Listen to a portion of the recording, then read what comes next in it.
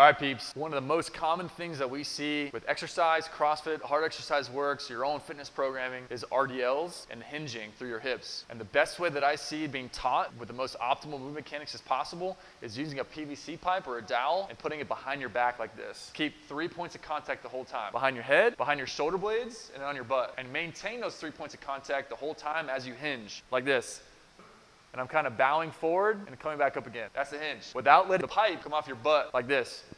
When I do that, it's because I'm rounding my back and I'm not keeping my back locked in extension and hinging at my waist, and that's not the best mechanics. And this exposes that with the pipe, which is a great thing. And you should definitely feel that in your hamstrings. RDL is actually a hamstring strengthening exercise, lengthening your hamstrings under tension, which is called an eccentric strength activation exercise. The way to progress that, when you're feeling like, hey, I got the mechanics down, progress with a kettlebell or a barbell. Same movement we just did with the PVC pipe. Pretend as if you had the pipe behind your head, your shoulder blades in your butt, and keep those three points of contact as you're kind of bowing and hinging forward with the barbell like this.